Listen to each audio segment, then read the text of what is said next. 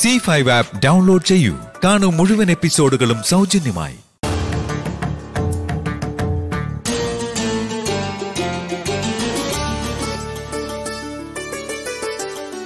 എന്തിനാ മോളെ? നീ ഇങ്ങനെ ബുദ്ധിമുട്ടുന്നത്? ഇതൊക്കെ പിള്ളച്ചേട്ടൻ ചെയ്തു തരുമായിരുന്നല്ലോ ഇതൊന്നുമേ ജോലിക്കാരല്ല അച്ഛ ചെയ്യേണ്ടത്. നമ്മളോട് കൂറും അടുപ്പം ഉള്ളവരാ.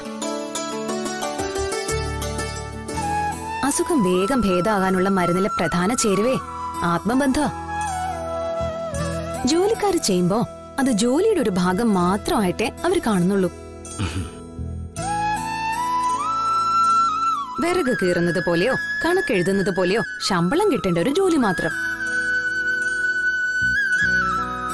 അതിലെവിടെയാ ആത്മബന്ധം ഉള്ളത്?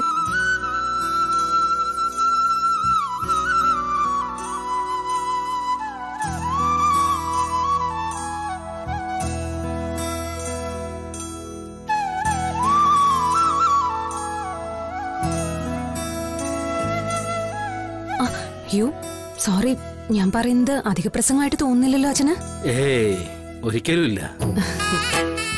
നിന്നിൽ നിന്ന് പുതിയത് പലതും പഠിക്കുകയാ ഈ അച്ഛനിപ്പോ. ഏയ് അങ്ങനൊന്നും പറയല്ലേ.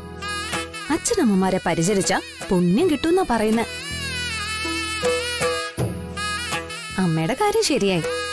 സമയാസമയങ്ങളിൽ ഞാൻ നോക്കിയിട്ടുണ്ട്. പക്ഷേ അച്ഛന്റെ കാൽ തടവാനൊന്നും എനിക്ക് അവസരം ലഭിച്ചിട്ടില്ല.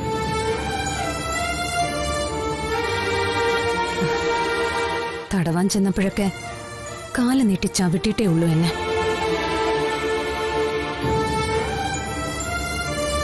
നിന്റെ ഒരു ജീവിതം ഓർക്കുമ്പോ കണ്ണു നിറയും മോളെ. നീ തന്നെ സൂചിപ്പിച്ചതുപോലെ മകളുമായുള്ള ആത്മബന്ധമാ ഒരച്ഛന് കിട്ടാവുന്ന ഏറ്റവും വലിയ സമ്പത്ത്. അത് വേണ്ടാന്ന് വെച്ച ഗോപാലകൃഷ്ണൻ ഒരു വിഡ്ഢിയാണെന്നേ ഞാൻ പറയൂ.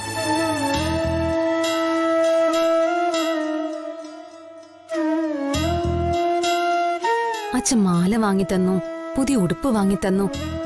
ടൂറിന് കൊണ്ടുപോയി നിൽക്കെ കൂട്ടുകാരികൾ പറയുമ്പോ ആദ്യമൊക്കെ ഒരു വിഷമം തോന്നിയിരുന്നു. പിന്നെ അതങ്ങ് ശീലമായി. അച്ഛനില്ല അച്ഛനില്ല എന്ന് മനസ്സിനെ പറഞ്ഞു പഠിപ്പിച്ചു.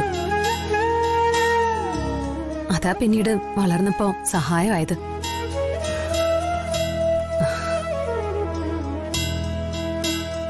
ഗോപാലകൃഷ്ണൻ നിങ്ങളെല്ലാം മനസ്സിലാക്കുന്ന ഒരു ദിവസം വരും മോളെ.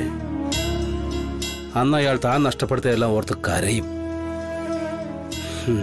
എനിക്കത് തീർച്ചയാ.